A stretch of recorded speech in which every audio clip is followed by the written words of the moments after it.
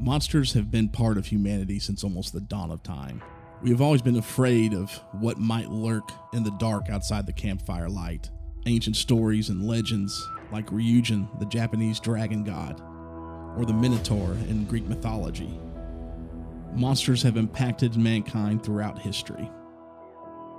However, the way we saw monsters forever changed in 1910 when director J. Searle Dawley brought Frankenstein to the motion picture. Godzilla King of the Monsters was going to be on TV, but it was going to be on a Monday morning on a school day. This was during the school year. And uh, what I did is I basically had to fake a stomach ache so I could stay home to watch this movie because I just had to see this movie. All I can say it, I was just glued to the TV. It was scary seeing the devastation he left behind, seeing his atomic breath, glowing scales, and crumbling buildings. It was from that moment on that I you know, I couldn't get enough of monsters, no matter what it was, and an obsession that has not stopped yet.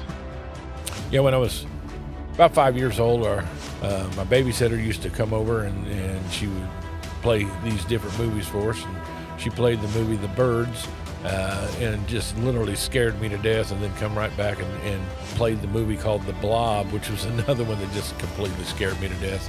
But it just changed me into a way where I just couldn't get enough just turned me on to monster movies and horror movies, and uh, that's when I found Godzilla, and uh, it just changed my life. It was just a great time.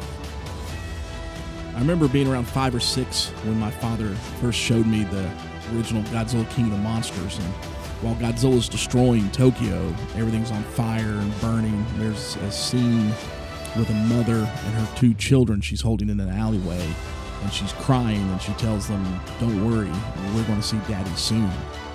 The realism of that scene, even at that age, would forever change how I saw movies and impact the entire course of my life.